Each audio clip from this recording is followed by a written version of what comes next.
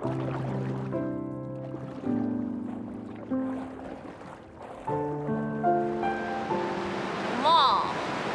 나 이거 그만하면 안 돼? 아, 엄마가 해녀라고 딸까지 해낼 필요는 없잖아. 그만해, 그럼. 진짜로? 어, 이거 무슨 그꾸가 그렇게 빨라? 엄마, 한 번도 네가 엄마처럼 살길 바란 적 없어. 하고 싶은 거 하고 살아야지 사람이. 아 그럼 나 왜 추워 죽겠는데 이 바닷물에 들어가고 있어? 맨날 왜뭐 이런 거 따게 시키고? 엄마가 줄 수 있는 게 이것밖에 없잖아. 자식한테 먹고 살 재산도 못 물려주는데 먹고 살 방법이라도 알려줘야지 부모가 돼서. 하고 싶은 거 하다가 정 힘들면 때려치고 내려와.